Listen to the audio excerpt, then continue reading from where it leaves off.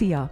A május 7-i stretching órát szeretném ajánlani neked, aminek a sorszáma 5-ös. Az időtartama 60 perc lesz.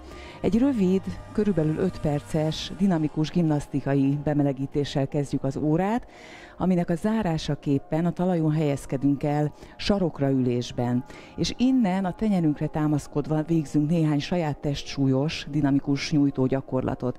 De ezen kívül a mai órán se a térdünkre, se a tenyerünkre támaszkodva nem kell majd saját test súlyos gyakorlatokat végezni.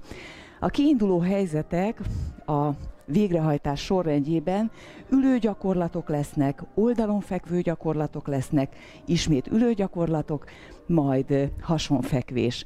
Az egyetlen segédeszközünk a mai órán a heveder, ezt használjuk a statikus nyújtó gyakorlatoknál. Az óra végét itt is az 5 perces relaxáció zárja, és ha szeretnéd ennek az órának a felvételét megvásárolni, akkor a leírásban találod a tudnivalókat. Szeretettel várlak!